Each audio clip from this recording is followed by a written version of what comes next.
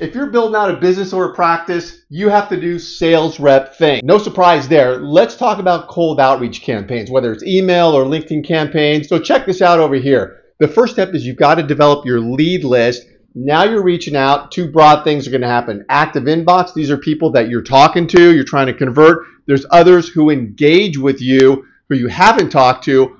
All of those people go into your master lead list and from there you got to convert them. Now when I mention engagement, I'm talking about activity like this. This is an email campaign. An email, we love it because you can measure clicks, opens, certainly replies. This is engagement. And when you're running very specific email campaigns with calls to action and people are opening, clicking, this is an opportunity for you to reach out and call them go next level. And when you're running these cold outreach campaigns, you're going to get this, your master lead list. And this is going to be everybody, everybody that is active in your inbox that you've talked to, people that have engaged with you through email, looked at a post or attended an event. They're all going to go on this list. You're going to gather information, name, email, phone number. So now you can be focused on it, think strategically, and convert these people, move them through the pipeline. So what do you do with that master lead list? Multiple touches. Got to call them, pick up the phone, reach out. You have to email them, nurture them,